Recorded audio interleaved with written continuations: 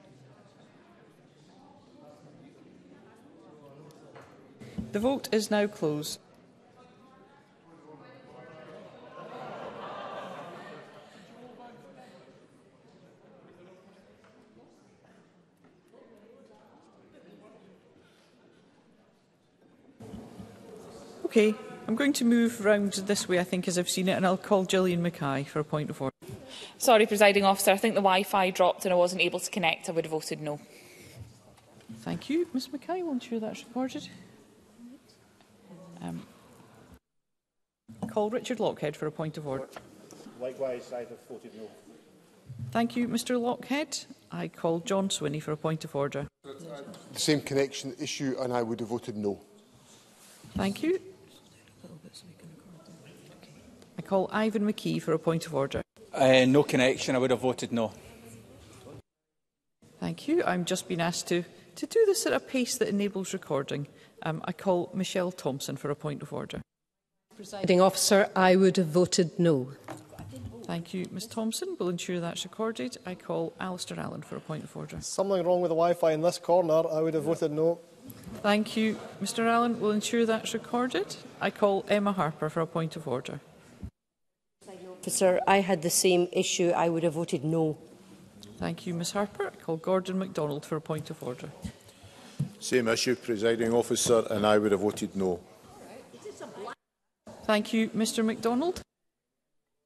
I call Angela Constance for a point of order. Sir, presiding officer, I would have voted no. Thank you. Constance We'll ensure that's recorded. I call Liam MacArthur for a point of order. Point of order, same issue. I would have no, voted no. Thank you. We'll ensure that's recorded. call Keith Brown for a point of order. Uh, thank you, President. It's saying that I have voted no, but it's not uh, gone down to zero, so I don't know if it's gone through or not, but I would have voted no in any event. I can assure you, uh, Mr Brown, that your vote was recorded. Thank you. I call Sandesh Gilhani for a point of order. Thank you. Thank you, Presiding Officer. Uh, unfortunately, it didn't connect. I would have voted yes. Thank you, Mr Gilhani. We'll ensure that's recorded.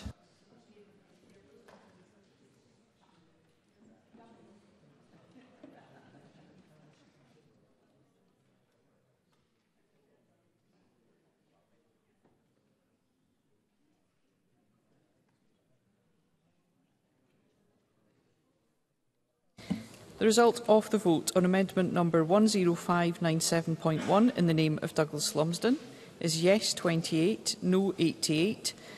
There were no abstentions. The amendment is therefore not agreed. The next question is that Amendment 10597.3 in the name of Sarah Boyack, which seeks to amend Motion 10597 in the name of Mary McCallan on climate emergency, ambition and action, be agreed. Are we all agreed? No. The Parliament is not agreed, therefore we'll move to a vote and members should cast their votes now.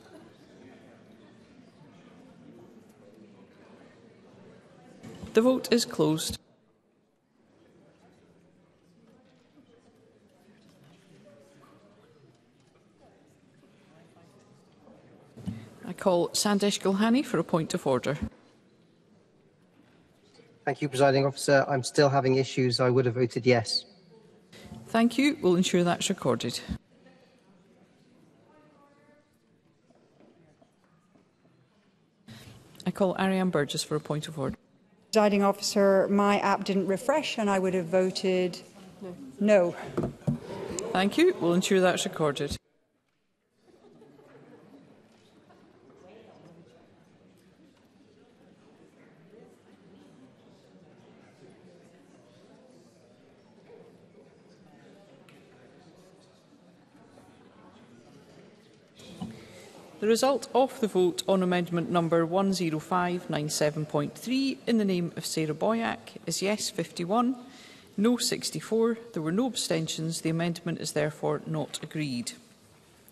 The next question is that amendment 10597.2 in the name of Beatrice Wishart, which seeks to amend motion 10597 in the name of Mary McCallan on climate emergency ambition and action be agreed.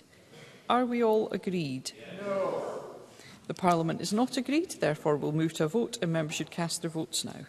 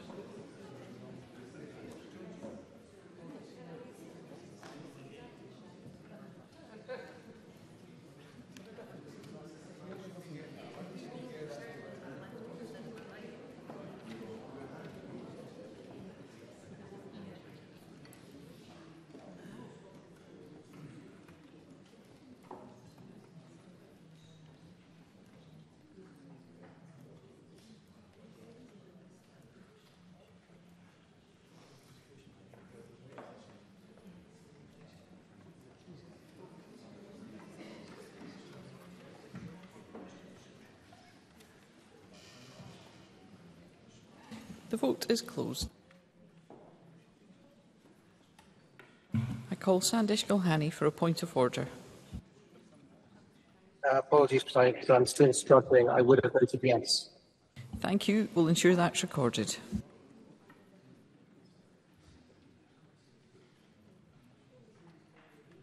I call Alec Crowley for a point of order. Yes, Presiding Officer. I voted yes. Thank you. Mr Rowley will ensure that's recorded.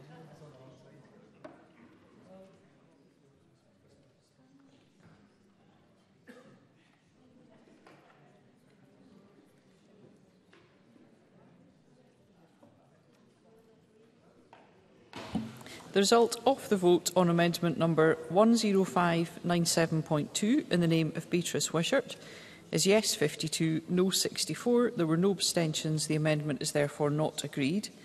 And the final question is that motion 10597 in the name of Mary McCallum on climate emergency, ambition and action be agreed. Are we all agreed? No. The Parliament is not agreed, therefore we'll move to a vote and members should cast their votes now.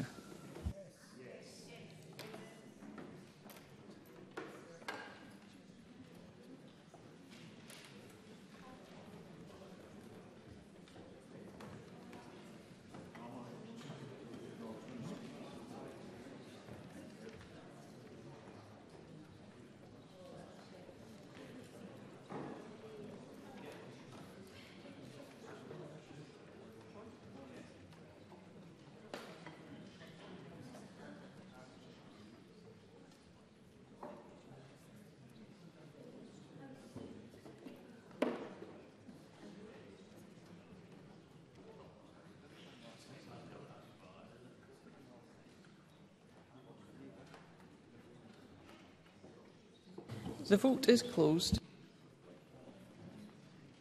I call Sandesh Gulhani for a point of order. Apologies, presiding officer. Ongoing issues, I would have voted no. Thank you, Mr Gulhani. We'll ensure that's recorded.